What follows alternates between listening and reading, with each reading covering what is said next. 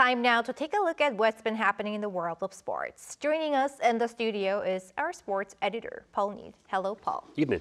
Let's start with football. The South Korean national team is in action later this week, but will be without its captain. What can you tell us? Yes, that's right. Son Heung-min has been forced to withdraw from the squad due to a hamstring injury. The news broke on Friday that Son will not be fit enough to play Korea's next two games and that Hong Hyun-seok will be called up instead. Now, Hong is a central midfielder and can't really be seen as a direct replacement. There are perhaps a handful of candidates to fill in on that left-hand side, namely Hwang Hee-chan, Bae Jun-ho and Lee Jae-sung. Most of the domestic-based players departed for Jordan on Monday morning ahead of Thursday's match. The overseas-based players made their own way there. Korea faced Jordan at 11 p.m. on Thursday before facing Iraq in Yongin on Tuesday at 8 p.m. Mm -hmm. Some important games coming up. And two of Korea's players registered goal over the weekend. Yes, that's right, uh, including a first Feyenoord goal for Hwang In-beom. Uh, Hwang played just over an hour as the holding midfielder in a 4-1-2-3, but popped up at the edge of the box in the 43rd minute to make it 2-0 with a well-placed shot into the bottom corner. Feyenoord went on to beat Twente 2-1. The midfielder moved to the Dutch Giants in early September and so far has made five appearances for the club in all competitions. Meanwhile, Kim Min-jae scored his first goal of the season, giving Bayern Munich the lead in a eventual 3-3 draw with Eintracht Frankfurt. Bayern remain unbeaten with four wins and two draws and sit top of the table on goal difference.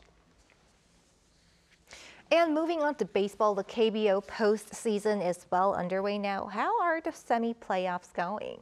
At the moment, it's currently tied with one game each between KT Wiz and the LG Twins. KT, though, they won the first game 3-2 on Saturday, but then the LG Twins roared back with a 7-2 win on Sunday in front of a sellout crowd of over 23,000. Infielder Shin Min-jae posted three runs for the LG Twins, while starting pitcher Im Chan-gyu was on the mound for five innings and a third, the longest postseason outing of his career, and also earning his second postseason win. The Wiz, though, became the first team to finish fifth and win the wildcard series, beating the Doosan Bears. This after beating the SSG Landers in a first ever tiebreaker. Game three of the semi-playoff is coming up on a Tuesday in Suwon at 6.30 p.m. All right, and finally to women's volleyball, the new season is just around the corner. It is, and the KOVO Cup wrapped up over the weekend. Now, Suwon Hyundai Engineering Construction Hill State defeated the Daejeon Jeongwanjang Red Sparks 3-1 in Sunday's final Leticia Moma Bassoko was Hill State's key player, scoring 19 points. This is Hill State's fifth KOVO Cup title. The competition acts as a curtain raiser of sorts before the league campaign begins. All seven teams take part and on occasion a team from overseas is invited. This year Japan's prestige international Aran Mare took part but they failed to make it to the knockouts. The new league season begins on October the 19th. All right, thanks, Paul. I'll see you next week. Thank you. See you.